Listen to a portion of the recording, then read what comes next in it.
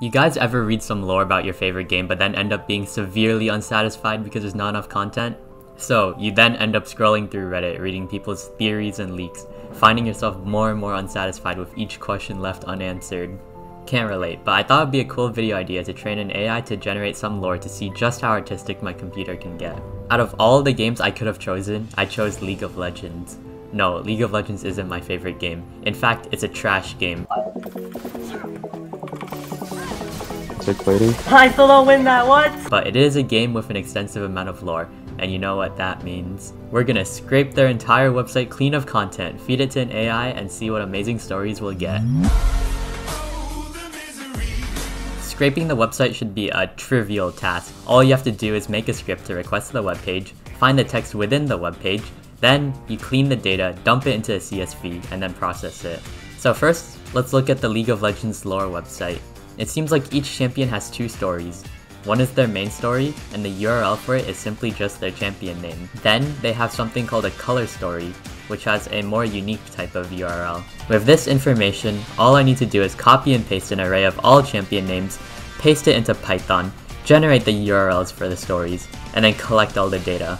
Okay, so we have a little script right here to fetch the data of a web page. So let's run the script python scrape.py and it should be in the output.txt folder. We should be able to find the story somewhere. Wait, wait, what? Wait, wait, wait, wait, wait. No, no, no, no, no, no, no, no, no, no, no, no, no. This is bad. The website is dynamically loaded in JavaScript. It's over. 諦めんなよ諦めんなお前どうしてそこでやめるんだそこでもう 少し頑張ってみろよダメダメダメダメ諦めたら周りのこと思うよ応援してる人たちのこと思ってみろってあともうちょっとのところなんだろ俺だってこのマイナス10度のところしじみが取れるって頑張ってんだよ絶対やってみろ必ず目標達成できるだからこそ Never give up!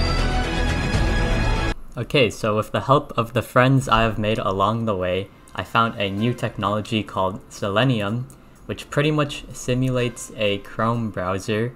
And what you can do is you can wait for the element to load, fetch it as you would in JavaScript, and that bypasses the dynamic loading. So let's run this script now. That's more like it. So after waiting for a little bit, I finally have a beautiful, beautiful CSV of all of the League of Legends stories, so now we can finally train our AI. So I was training my AI, and all was going good until my computer started making weird noises. I don't know if I should be excited or scared. At that point, I was like, should I stop? This is getting kind of scary, but I needed to make the video no matter what. Um guys, so I hear a crackling sound now. I have no idea what this is. I'm scared. Now, it sounds like my computer is gonna explode.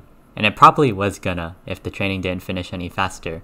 So I patiently sat in front of my computer, hoping for the best. And the model eventually got trained. Okay, now that our model is properly trained, all we have to do is load it and test it. So right now we have the prompt Garen smash through the wall.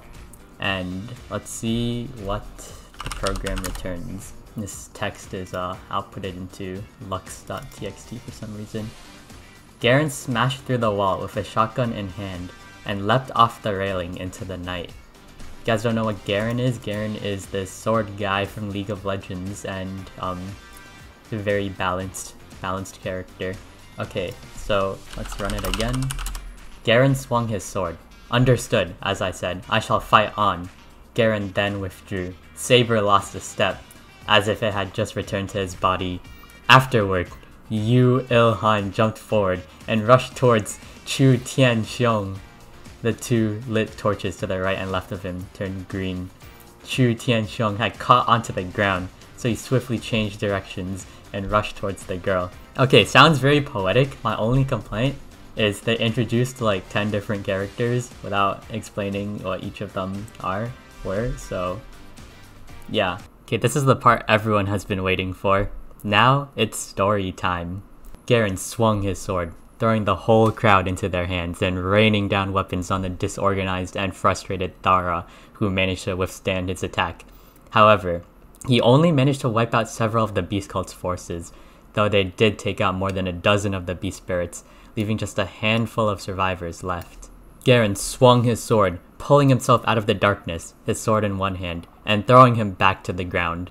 As he did so, he picked up the bottle, unable to lift it. He had fought, he thought. He had done his duty, and he had given his life to save the world. Darius struggled in life, as he and his family were poor, and many of his siblings died from exposure to tobacco. He says it made him unwell. He was terrified he would die. I was scared. I would run away and that I would get scared and that I would die, he said. But I was fine. I just didn't feel right and didn't want to be in this place. That night, I thought I would die, and then I went to bed crying. I went to sleep at night thinking, I don't know. Is that it? That's it. I don't know. I don't know what was happening in my head. I don't know what was going on in my head. But it wasn't that long before I woke up, and I was gone for a long time. Born wealthy, Caitlyn had a lot of advantages in her life, but she knew that she was a free woman. When she was just a kid, Caitlyn often walked to the Weasel with her friend Davy to see him play some Dungeons and Dragons with her. Davy and Caitlyn would sometimes play together.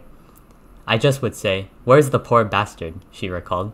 He always asked me, Where are you? And I'd say, No, I'm here in the streets. The couple settled in Jamaica. Caitlyn and Davy continued to raise a family in the small town, but the couple moved back to Jamaica with her, along with a few friends. She said, How do you feel about this? I mean, you are part of this, are you not? Caitlyn recalled. She knew it would be hard to get back. Lux had to hide her magic, or else they would kill her. She had been watching through the darkness for a long time, and wished she could see her young daughter. Teemo leaped over the tree and ran, dashing and turning to give chase. After he had already reached a point where the bridge he was standing on wasn't anywhere near the tip of the yellow sand, he stumbled and slid in a deep crouch. He knew he could reach the only place in the desert where he could stop. Heimerdinger was a genius scientist who would ultimately go on to become a controversial figure in his own right. The future Hall of Fame inductee became a guest on the 1994 MTV reality show Shaun the Sheep, and she responded with her famous character Kim Kardashian.